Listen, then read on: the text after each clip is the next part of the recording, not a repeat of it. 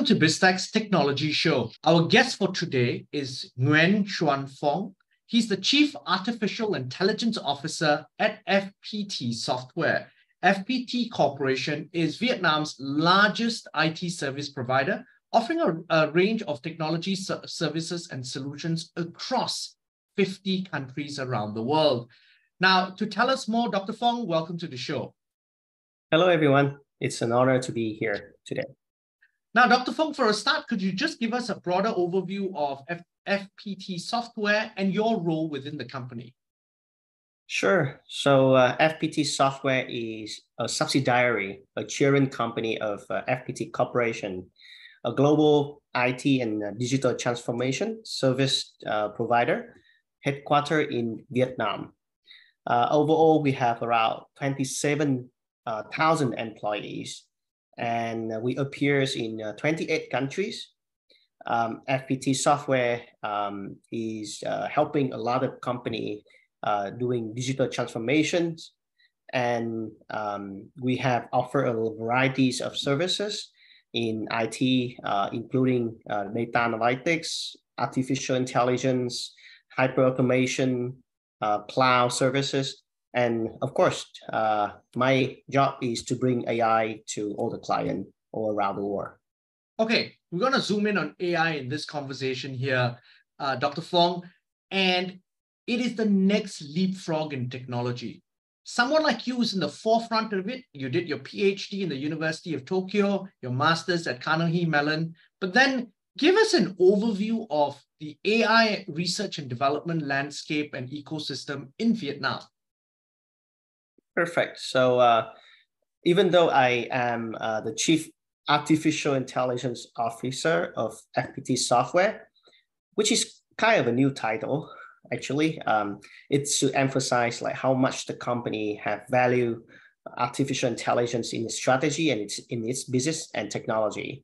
So uh, even though I'm, I'm the chief AI uh, of FPT, headquartered in Vietnam, but I base in uh, in Canada, uh, North America. Um, so the uh, the dynamics of artificial intelligence uh, is actually happening a lot in North America. And that's the reason why I am staying here, closing to the source of innovation of, res- uh, of uh, top-notch research and top production around the world. And I bring all of that back to Vietnam and back to my team of research and solution team in Vietnam for them to catch up with all the newest and update most updated technology here. And so this is part of your overall cooperation with Canadian Artificial Intelligence Research Institute, MILA, right? So, so tell us about this cooperation and then how this extends to your team in Vietnam.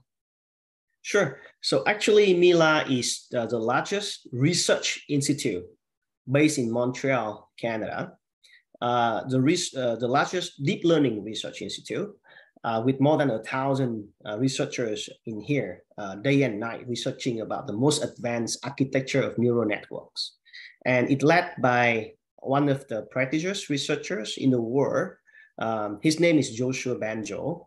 Uh, he won the Turing Award in 2018. And in our domain of computer science and IT, Turing Award is like the Nobel Prize for the, uh, for the scientist. So uh, Yoshua Bengio is called the godfather of AI. Um, so we all respected him, all respect him. And uh, he, he, uh, he provide a lot of consultant to uh, researchers all around the world. And FPT is very lucky to become one of uh, Mila's partner. And uh, from the help of Mila, uh, we build research team, follow uh, the guide of Mila. And we're also building one of the largest AI research center in Vietnam uh, with Mila's consultation. Okay, tell us about this AI research hub uh, that you're building in Vietnam. What are the goals, objectives, and, and what sort of size of, of, of the hub is it? Sure. So um, the, the largest uh, FPT AI research hub in Vietnam is going to be built in uh, one of the city uh, in the middle of Vietnam called Quy Nhon. So Vietnam was pretty well known for uh, tourism. So uh, the people usually go to Hanoi or Ho Chi Minh City, uh, but uh, not many people heard about Quy Nhon. It's actually a seaside city, a very beautiful seaside city. It um, we're going to build a, a, large complex for research and development as well as for training for around 20,000 tech personnel in a year and we're going to invest uh, almost 100 million. So to be exactly, the number is 85 million dollars uh, to the complex, so that we can um, bring up a lot of talents, both from the local of Quy because they have one of the best math program in the in the nation, as well as we're going to bring a lot of uh, international researchers from all over the world to Quy to enjoy a beautiful uh, beach city. So uh, that is our plan. Now, this sounds really, really exciting. Obviously, it's a very strategic move. It's a very large investment. What are the specific projects that you are looking or, or key areas that you're looking to work on in this particular research hub? Well, um, there's AI nowadays. They have so many uh, applications. Um, the technology has been uh, helping human to improve a lot of productivity, uh, improve our user experience with the digital world. And uh, with FPT software, we uh, have been serving so many clients in different domains from manufacturing to healthcare to energy and so on. So uh, we, if we have to pick one, it's going to be very difficult. So um, in, in the collaboration with Mila uh, at the moment, uh, we are having a few research topics going on. And uh, though are all very strategic uh, research, uh, the first one is the thinking system two. Uh, it is a technology for AI to reason, to think, to understand cause and effect, just like human and that most of AI now they cannot do it. The second uh, topic is uh, we are doing a lot of research in massive 3D vision called point cloud data. So uh, most of the camera nowadays only take 2D images. So with uh, upgrade in the hardware, we can take 3D images with point cloud, with LiDAR, for example. Uh, we can use AI to process another dimension in the pictures and understand much more and richer context of the image. And the final and the most strategic topic we are collaborating with Mila is called AI for software. And like our name, the company FPT Software, you understand that how software is important to us, right? Software we, is literally the core, right? Exactly. And uh, this used to be a say, uh, software eating the world. And now it's actually AI is eating software. so uh, we are building a lot of algorithms of artificial intelligence to help our developers to write software better quality, faster speed, and um, with more, much more user developer experience, much more better developer experience. So uh, that is gonna be one of the top three topic we're going to invest in the uh, AI research hub uh, in Quy And we're going to need a lot of efforts from researchers all around the world. We hope to recruit and uh, put, in, put them into a very beautiful beach city where they can enjoy, you know, uh, the sceneries as well as the great, great local food over there. Now, Dr. Phong, one of the key things is this, the plan sounds really good, very ambitious. Where do you plan, besides Canada, obviously where you are based and, and you have the co collaboration with Mila, where else are you looking to recruit researchers from around the world to go to this new facility? Well, uh, for, of course, uh, international researchers are very welcome uh, to visit and uh, to uh, work with FPT software um, in Nhơn uh, in, in our new uh, AI research hub in the future.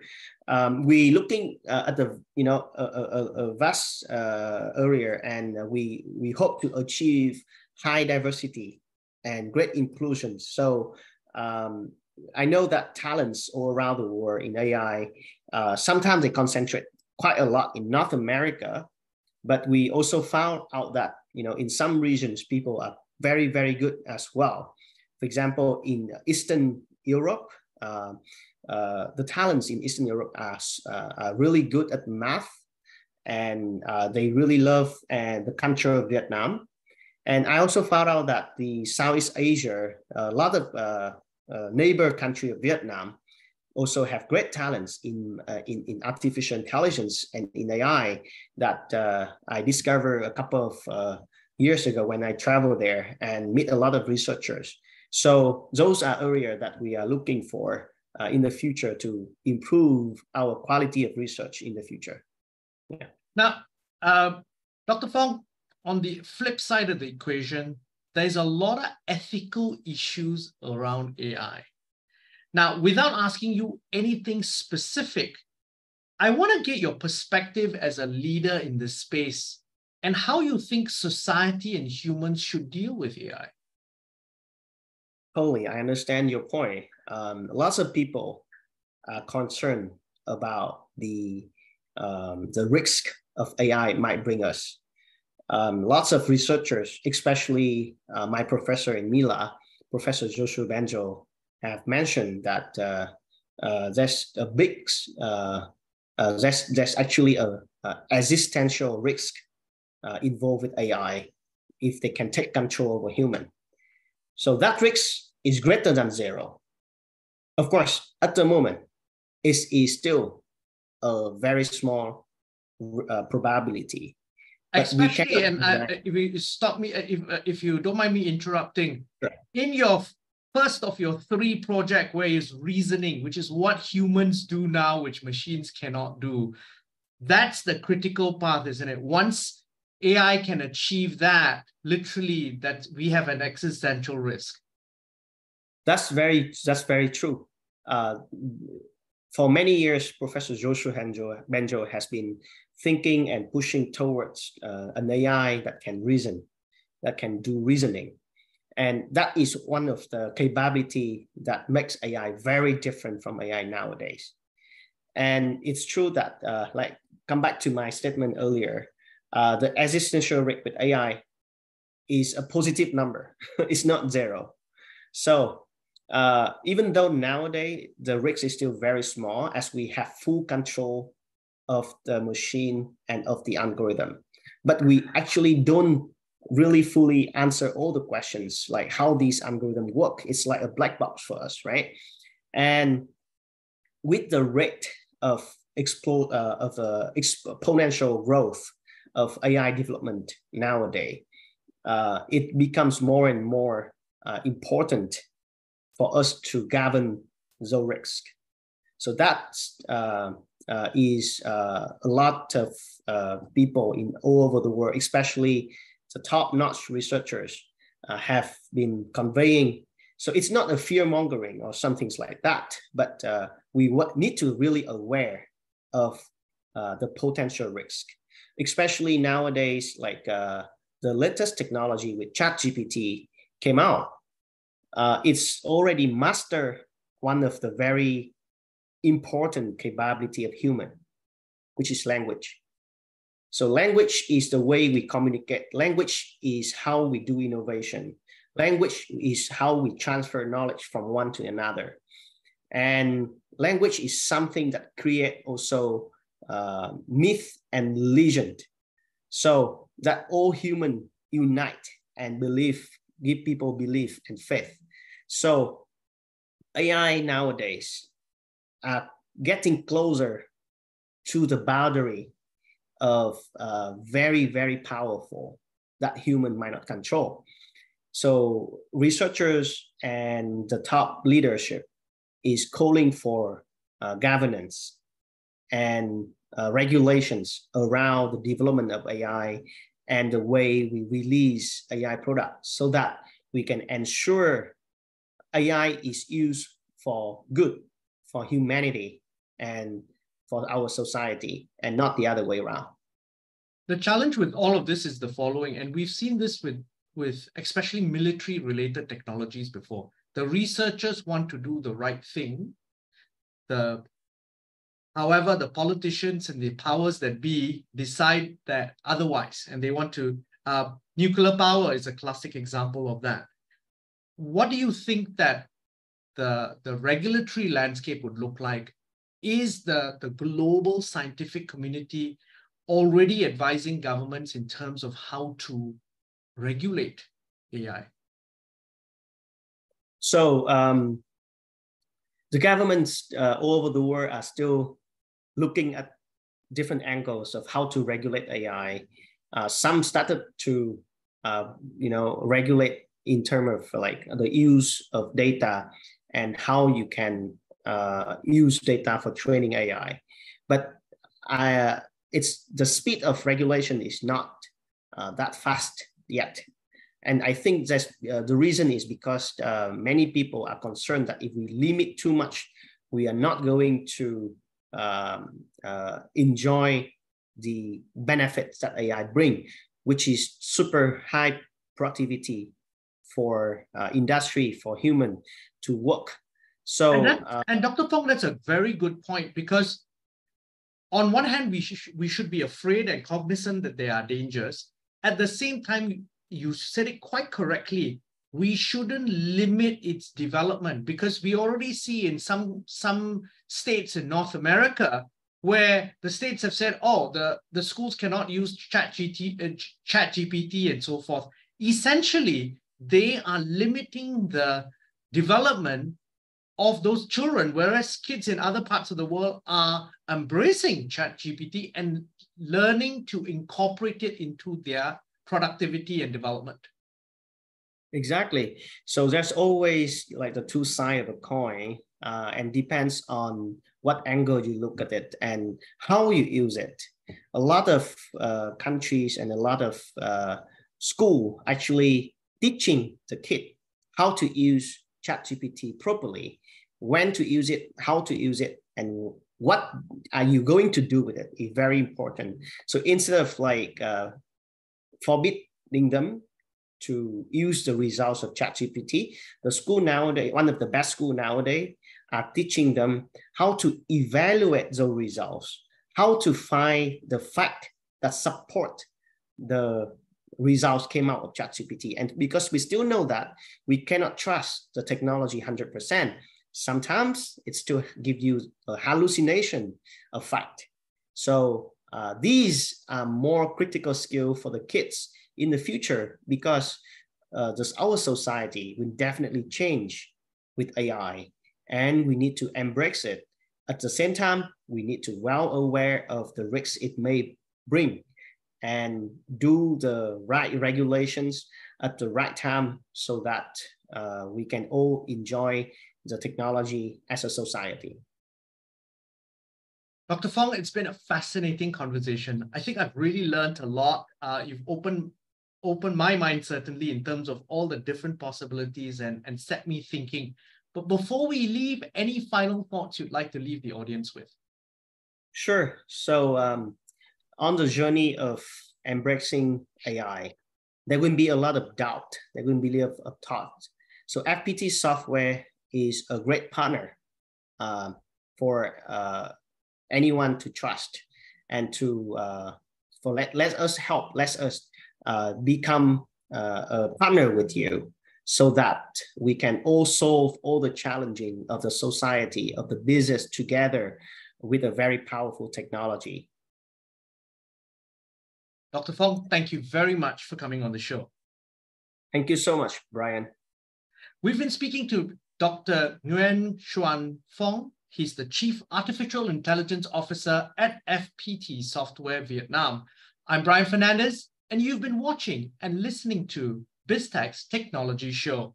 This interview will be on our website, www.biztech.asia, as well as our social media platforms. It'll also be on our syndication partners, TV stations, radio stations, and websites. Thanks a lot for tuning in. Thank you.